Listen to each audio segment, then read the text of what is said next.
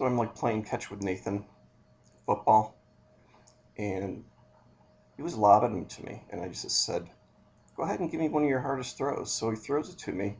It goes right through my hands, and look what it did to my head. It just lopped it right off.